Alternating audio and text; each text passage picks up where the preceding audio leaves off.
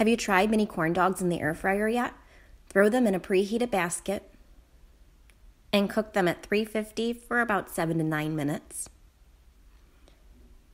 They come out crispy on the outside and nice on the inside.